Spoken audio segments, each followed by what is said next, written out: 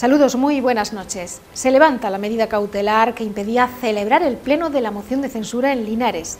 Este es uno de los asuntos del día. Se lo contamos después de titulares. El juzgado levanta la medida cautelar que impedía celebrar el pleno de la moción de censura en Linares. CILU califica como una negligencia la parálisis de la gestión de los fondos europeos por parte del equipo de gobierno municipal. Ayer arrancaba en la capilla del Hospital de los Marqueses el ciclo taurino de conferencias Linares y el mito, Manolete en el recuerdo, organizado por el Ayuntamiento de Linares alrededor del 75 aniversario de la muerte del torero. El futbolista linarense Frank Carnicer se desvincula del Linares Deportivo para emprender un nuevo proyecto con el Eldense. El juzgado de lo contencioso administrativo número 2 de Jaén ha emitido un auto por el que se levanta la medida cautelar que impedía la celebración del pleno de la moción de censura contra el alcalde de Linares, Raúl Caro Accino, y que va avalada con las firmas de Partido Socialista, Izquierda Unida y Cilu Linares. El Ayuntamiento de Linares ha convocado para el próximo viernes 24 de junio a las 12 de la mañana el pleno para el debate y votación de la moción de censura que el pasado mes de febrero presentaron los concejales del PSOE, Izquierda Unida y CILU contra el alcalde Raúl Caro Accino. La convocatoria se produce después de que el juzgado de lo contencioso administrativo número 2 de Jaén haya emitido un auto por el que se levanta la medida cautelar que impedía la celebración del pleno de la moción de censura. La medida cautelar fue solicitada en su día por el grupo de ciudadanos en el ayuntamiento de dejar sin efecto la diligencia municipal por la cual se convocaba para el 11 de marzo ese pleno. Ahora, tres meses después, el secretario general del consistorio ha emitido una diligencia en la que convoca nuevamente esta sesión una vez que el juzgado ha notificado al ayuntamiento el auto en el que se levanta la medida cautelar. Tras la presentación de la moción de censura, Ciudadanos acudió a la justicia esgrimiendo la necesidad de aclarar la situación de dos concejales socialistas, Daniel Campos y Javier Palacios, justo antes de que se produjera la votación del Pleno de la moción de censura. La medida cautelar fue solicitada en su día por el grupo de ciudadanos en el Ayuntamiento de Linares de dejar sin efecto la diligencia municipal por la cual se convocaba para el 11 de marzo el Pleno para votar la moción de censura. Y es que tras su presentación, Ciudadanos acudió a la justicia esgrimiendo la necesidad de aclarar la situación de dos concejales socialistas, Daniel Campos y Javier Palacios, antes de que se produjera la votación en pleno. Ahora, en un auto, el juzgado acuerda el levantamiento de la suspensión tanto del procedimiento principal como de la pieza de medidas cautelares. El juez de lo contencioso administrativo número 2 de Jaén entiende que el procedimiento no tendrá ninguna trascendencia sobre las diligencias abiertas por el juzgado mixto número 1 de Linares y, por el contrario, de no levantar la suspensión, podría vulnerar un derecho constitucional como es un derecho a la participación política, coartando los instrumentos de funcionamiento democrático. El pasado mes de mayo, el juzgado mixto número uno de Linares emitió un auto por el que, además de abrir diligencias, se pedía al Ayuntamiento de Linares aportar el acta del pleno celebrado el pasado 24 de marzo para poder identificar a los 15 concejales de la Corporación Municipal que votaron en contra de la declaración de incompatibilidad del concejal socialista Javier Palacios. El gobierno local cuestionó a este concejal por haber facturado desde su farmacia al ayuntamiento productos como mascarillas o gel hidroalcohólico durante la pandemia y que previamente le había encargado el propio consistorio ante la escasez en el mercado de estos productos. Precisamente la situación de este concejal fue parte de los argumentos esgrimidos por ciudadanos ante el juzgado para lograr que se suspendiera cautelarmente la celebración del Pleno de la moción de censura. Tras el resultado de la votación, en la que no salió adelante la declaración de incompatibilidad, pese a venir avalada por un informe del secretario del ayuntamiento, los grupos de Ciudadanos y Partido Popular optaron por llevar dicha votación a la Fiscalía. Argumentaron que los 15 concejales que habían rechazado esa declaración de incompatibilidad podrían haber incurrido con su voto en un delito de prevaricación. Los concejales que votaron en contra fueron seis concejales del PSOE, tres de Cilu Linares, dos de Linares I, dos de Izquierda Unida y dos concejales de Ciudadanos, que se desmarcaron de su propio grupo. Frente a ellos, siete concejales de Ciudadanos y Partido Popular votaron a favor de la incompatibilidad. La Fiscalía emitió un decreto en el que se establecía que con el fin de determinar si se ha incurrido o no en un delito de prevaricación, así como sus posibles autores, procede la remisión de las presentes diligencias de investigación penal al juzgado para que se incoen las correspondientes diligencias previas. Según Ciudadanos y Partido Popular, la incompatibilidad de Palacios venía motivada por ejercer el cargo de concejal sin renunciar previamente al ejercicio de otra profesión. En el auto dictado entonces por el Juzgado Mixto número uno de Linares se establecía que los hechos remitidos desde la Fiscalía presentan características que hacen presumir la posible existencia de una infracción penal. Al no estar determinadas la naturaleza y circunstancias de tales hechos, ni en las personas que en ellos han intervenido, es por lo que el responsable del juzgado ordena instruir diligencias previas y practicar aquellas encaminadas a efectuar tal determinación y, en su caso, el procedimiento aplicable. Es en este auto donde se oficiaba al Ayuntamiento de Linares para que aportara el acto de la sesión plenaria con identificación de los concejales que votaron en contra de esta declaración de incompatibilidad. En el auto emitido ahora por el juzgado de lo contencioso administrativo se establece que el levantamiento de la medida cautelar que impedía celebrar el pleno de la moción de censura no tendrá ninguna trascendencia sobre la cuestión penal que se sigue en el juzgado mixto número uno de Linares. Cilu Linares califica como una negligencia la parálisis en la gestión de los fondos europeos por parte del equipo de gobierno municipal. Según explican en un comunicado, en los informes remitidos a la Comisión no se está avanzando en prácticamente, dicen, ninguna de las líneas estratégicas de desarrollo urbano sostenible, dotado con 12 millones y medio de euros de la iniciativa EDUSI. De entre ellos, recuerdan que el 80% son fondos aportados por la Unión Europea y un 20% por el consistorio linarense. Así, según fuentes del partido, ha transcurrido la primera mitad de 2022 sin ningún avance en la ejecución de estos fondos, que según apuntan desde Cilu Linares ya acumulaban un grave retroceso a principios de año y que corren el riesgo de tener que ser devueltos por lo que consideran dejadez y descoordinación del equipo de gobierno.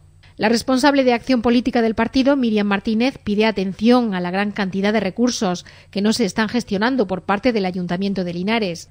Entre los proyectos o líneas de actuación sin prácticamente ejecutar, según Martínez, destaca el programa de orientación al empleo, dotado con más de 660.000 euros. Las actuaciones para la Smart City, con un presupuesto de más de 580.000 euros. O las actuaciones de infraestructuras sobre el arroyo Periquito Melchor, con más de 3,3 millones de euros. La responsable de acción política de CILU lamenta que a un año de las elecciones el equipo de gobierno no solo no gestiona lo que tiene obligación, sino que se ha dedicado a paralizar, asegura, todo lo que los concejales de CILU Linares comenzaron a poner en marcha y que era bueno para la ciudad.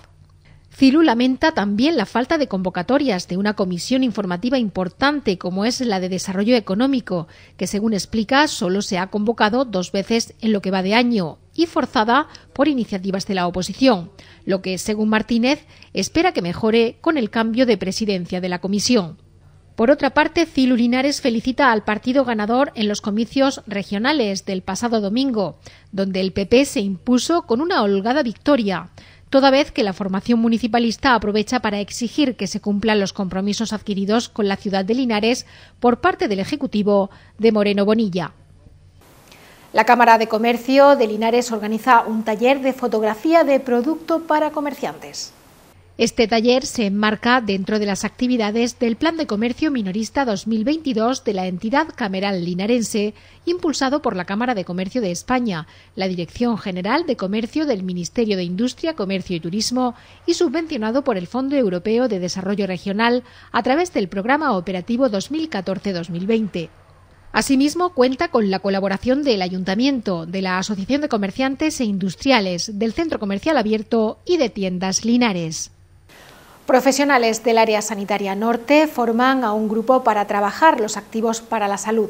El objetivo es fortalecer las actuaciones para que la ciudadanía incremente su autonomía en la mejora de su calidad de vida.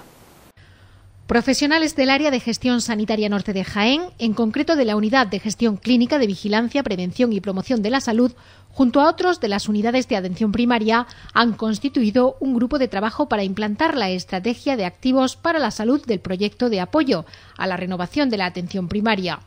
Se pretende formar a los profesionales de atención primaria de esta demarcación sanitaria en la metodología de activos para la salud, a través del mapeo e identificación de activos de las diferentes localidades de la zona norte de Jaén, como de su prescripción para que los pacientes mantengan o mejoren su salud.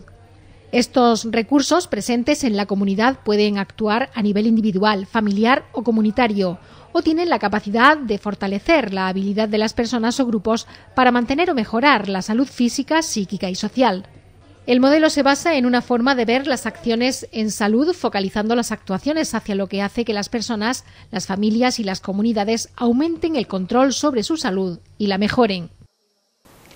La capilla del Hospital de los Marqueses acoge desde el martes el ciclo taurino de conferencias Linares y el mito, Manolete en el recuerdo.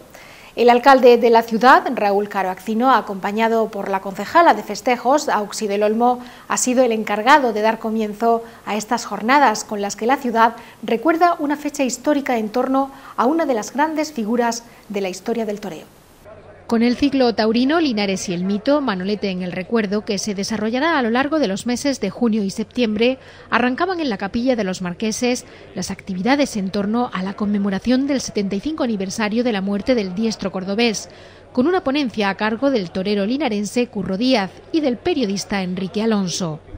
Una programación organizada por el área de festejos del Ayuntamiento de Linares que rememora una fecha marcada en el calendario taurino internacional el fallecimiento de Manuel Rodríguez Sánchez por el toro islero en la plaza de Santa Margarita. Este 75 aniversario de la muerte de Manolete aquí en, el coso de Santa Margarita, en Linares, bueno, eh, teníamos que conmemorarlo desde el ayuntamiento como se merecía.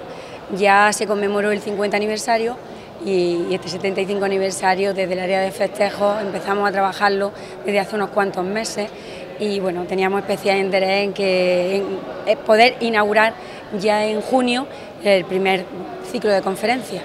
Profesionales relacionados con el mundo taurino son los que se encargarán de dar a conocer a esta figura del toreo, mediante conferencias que servirán para poner en valor su trayectoria. Personas tanto de aquí, de nuestra, de nuestra ciudad, como de fuera de, fuera de ella, que tuvieran la figura de Manolete y también la cultura del arte de la tauromaquia pues muy presentes ¿no? en todos estos ciclos, uno en, este ciclo que se va a hacer porque va a haber tertulias, va a haber conferencias, bueno, va a haber em, coloquios, yo creo que va a ser algo muy ameno durante estos días de final de junio y luego continuaremos para cerrar el ciclo los primeros días también de septiembre. La programación ha sido consensuada con el Ayuntamiento de Córdoba, ciudad natal de Manolete, al objeto de compartir eventos alrededor del mito del toreo. Sí que hemos tenido contacto con el Ayuntamiento de Córdoba desde hace ya bastantes meses para también bueno, pues, ponernos de acuerdo en la conmemoración que ellos también querían hacer junto con nosotros, pues como para invitarnos mutuamente a ciertos eventos y que podamos compartir esos eventos tanto en Córdoba como, como aquí en Linares.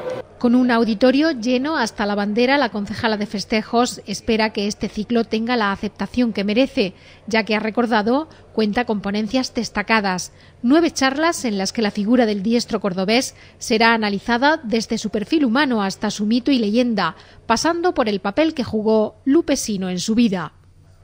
Yo creo que este ciclo es muy atractivo porque, como hemos dicho, aunque todo gira en torno al, bueno, 75 aniversario de Manolete, van a ser conferencias y tertulias muy amenas con diferentes personas expertas eh, bueno, en la figura de Manolete, en la figura de, los toros, de la tauromaquia.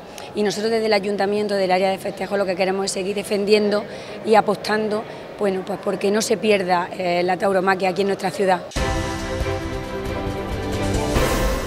Muy emocionado y con lágrimas en los ojos, Frank Carnicer se despedía en rueda de prensa del que ha calificado como el club de su vida, el Linares Deportivo, para emprender un nuevo proyecto desde el Eldense, un equipo recién ascendido a primera red. El jugador linarense, que se mostró en todo momento orgulloso de sus raíces, se despedía del Linares, desvinculándose del club, una decisión difícil de tomar, pero con la ilusión de avanzar, dijo, en un nuevo proyecto deportivo. Que no voy a continuar en el Linares Deportivo. Eh, hay palabras vacías, llenas de alegría, de tristeza, de ilusión, que reconfortan. Y en cambio, hay momentos que no explicarían ni cien mil palabras. Me siento delante de mi ciudad para contar esta decisión con la misma transparencia, con la misma confianza y dolor que la hice con mi familia, porque así considero este club y a esta afición, que no es otra que la mía. Hay oportunidades que marcan el rumbo de una vida, porque hay a veces que la cabeza tira más que el corazón y te hace pensar en tu familia y en querer darle todo lo que está en tu mano, en el tiempo que te queda como futbolista en la oportunidad de seguir siendo ambicioso en todos los aspectos.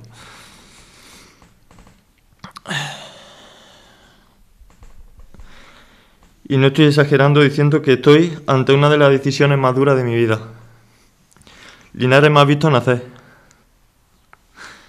Y no una, sino dos veces. Linares me ha visto crecer y formar mi propia familia. Soy quien soy por mi ciudad y por cada una de las personas que han confiado en mí día tras día y tropiezo tras tropiezo.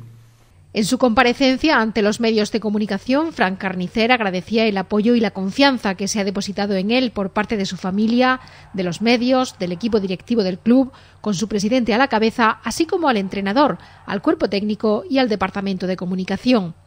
Tampoco se olvidó de la afición, a quienes ha agradecido el respeto y el cariño que ha recibido tanto en los buenos como en los malos momentos en su trayectoria en el equipo azulillo. Al azulillo,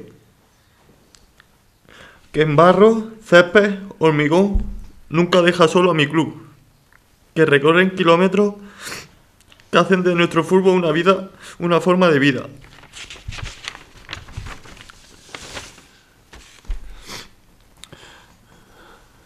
No tendré vida suficiente para agradecer todo el apoyo recibido y el cariño que me habéis dado en los peores momentos de mi vida.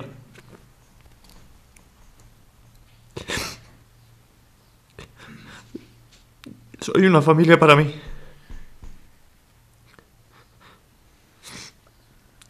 Y no diré que desde este momento soy un azulillo más, porque yo nací siendo azulillo. Yo entendí el fútbol y la pasión gracias a Linares. Y en mi corazón el color es azul, es el que manda. Así que seguiré a pie del cañón, como siempre animando a los míos, sufriendo por tu derrota y alegrándome por tu victoria porque era el club de mi vida y eso nada ni nadie lo va a cambiar.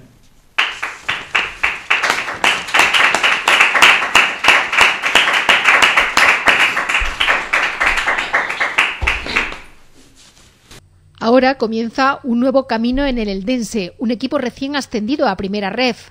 Una oportunidad que, asegura, no se esperaba y que, por tanto, y antes de tomar ninguna decisión, consultó con el presidente del Linares, Jesús Medina que ni yo me esperaba esto. Mm, hablé con Jesús cuando, cuando me llegó y, y las dos partes entendíamos que, que no había elección, que muy a mi pesar y, y sé de buena mano que muy a pesar de muy a pesar de Jesús no no quedaba ninguna opción. Yo le agradezco a Jesús todo, todo lo que ha hecho por mí. Al final apostó por mí cuando, cuando nadie quería y ahora también se ha portado muy, muy bien y no, no puedo decir otra cosa. Por su parte, Medina, que aseguraba deja las puertas del club abiertas al jugador, recordaba la importante labor que Carnicer ha desarrollado durante tres temporadas, donde, según apuntaba, se ha dejado la piel por considerar al Linares Deportivo el club de su vida. Ya tuve con él eh, pues todas las palabras de, agradecimiento por todo lo que ha hecho por el club. Eh, ya se lo dije de forma personal, pero bueno, eh, os lo transmito también aquí. Han sido tres temporadas con nosotros. Eh, eh, me acuerdo de ese verano en tercera división que, él insistía mucho en venir, en estar aquí, en el, club de su ciudad. Y, bueno, es algo que siempre le ha llevado por bandera, ¿no? El, Linares deportivo, el ser, el ser de Linares y, bueno, yo creo que ha sido algo que, no solamente lo lleva por bandera, sino que, lo ha demostrado en todos los partidos con nosotros. Em, es cierto que, apostamos nosotros por él, que, pues no está en el mejor momento deportivo de su carrera, pero, pero sabíamos que no iba a dar mucho y, bueno, yo creo que en esta, en esta temporada lo ha, lo ha demostrado de forma logada. Eh, la temporada pasada fue una temporada que hizo una grandísima temporada, pero, pero esta temporada ha estado por encima de, la temporada pasada, de, la temporada pasada ha hecho una, extraordinaria temporada. Han sido, pues bueno, tres años que ha estado con nosotros en la que hemos tenido la primera temporada un ascenso, una segunda temporada con un playoff a segunda división y esta temporada también con, con ese playoff a segunda división en nada más y nada menos que en, que en Riazor. Y, bueno, él se ha dejado, se ha dejado todo, todos los partidos por, por el club de, su vida, por el club de su ciudad, por, por su Linares. Como presidente eh, de la Junta Directiva y del club y, yo sé que, que, también, eh, pues a uno la voz de toda la afición, pues solo te podemos decir gracias, gracias y gracias. Eh, sé que esto no es un adiós, que es un hasta luego. Aquí las puertas de Linares Deportivo siempre van a estar abiertas para ti, para alguien que se deja el corazón y el alma por, por, por el club de su vida. Por otra parte, el presidente del Linares ha adelantado que próximamente el club cerrará las negociaciones iniciadas para la llegada de un nuevo director deportivo tras la marcha de Miguel Linares. Además, ha asegurado que la directiva trabaja ya en la incorporación de un nuevo entrenador.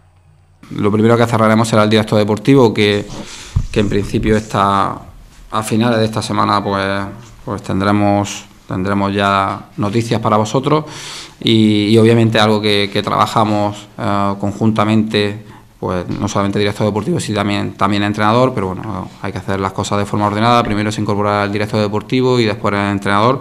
Tenemos varios perfiles con los que estamos trabajando y nos estamos reuniendo. Y, y, bueno, ya te digo, primero saldrá una cosa, después otra, pero aunque no salgan noticias, el hecho de que no haya noticias no implica que no se esté trabajando en ello. Y, bueno, y de cara a lo que dice al tema de renovación de jugadores y demás, también estamos contactando con los agentes para que para que, estén tranquilos, que, algo que es un proceso pues, que necesita sus plazos, pero bueno, ya, ya queda poco para que, que culminen pues esas incorporaciones y la gente tendrá noticias del Linares Deportivo y desde aquí, bueno, transmito tranquilidad, que, que, que todo tiene un orden y todo tiene un plazo y, eh, independientemente de eso, como, como, dije la semana pasada, hay el tema de jugadores, eh, ahora mismo hay eh, la situación de mercado está es muy cara y ahora mismo nosotros no podemos entrar y, bueno, tendremos que esperar un poco a que madure el mercado, pero bueno, sobre todo antes de eso siempre hemos hecho la forma, las cosas de forma ordenada y organizada, se incorporará el director deportivo, después entrenador y, y, que, no, que no haya duda, que la afición esté tranquila, que, que vamos a hacer, vamos a ser competitivos un año más y, vamos a hacer pues, un gran equipo que, pueda disfrutar cada domingo aquí en Linarejo.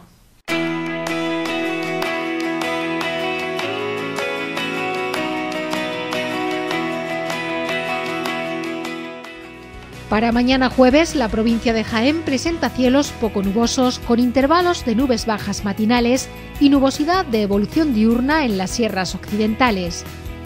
Las temperaturas seguirán sin cambios o máximas en ascenso, los vientos serán de componente oeste flojos, aumentando por la tarde. En Linares las temperaturas oscilarán entre los 15 grados de mínima y los 27 de máxima. Hasta aquí la actualidad por hoy. Volvemos mañana con toda la información local, aquí en PTV Noticias. Adiós.